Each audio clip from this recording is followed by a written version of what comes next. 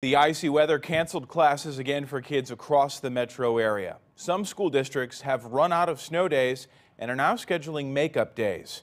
News 11's Rocky Madden live in Maryland Heights to show us how that can impact families. Rocky? Well, Mike, we are at McKelvey Elementary School here in the Parkway School District. This school and others have run out of snow days. They'll have to make them up either by going on a scheduled day off like a holiday or making it up at the end of the year.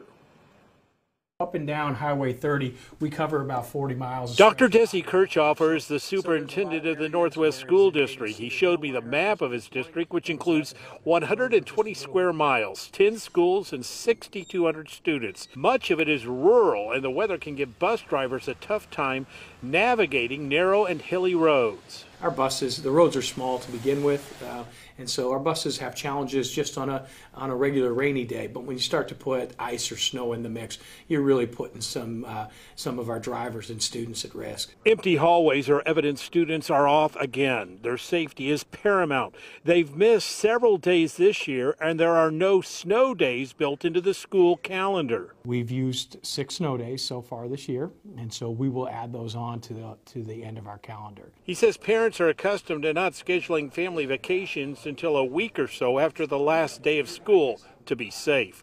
Rockwood schools like Eureka High still have two snow days left before they have to worry about makeup days. Snow days can be a problem for families twice once when they occur, and a second time when they are made up. But it extends their whole school year, and then, you know, we have to account for that when we do want to take vacations. So, yeah, I kind of get irritated by them. I don't know. I just don't like making up because then it wastes time with my family and my friends, and it's just a pain. Now, at this point, we know that Parkway, Mehlville, and Northwest have run out of snow days and we'll have to make them up. If you go to our app, you can check that out and see what days they will make up those snow days on. And reporting live here in Maryland Heights, I'm Rocky Madden, News 11.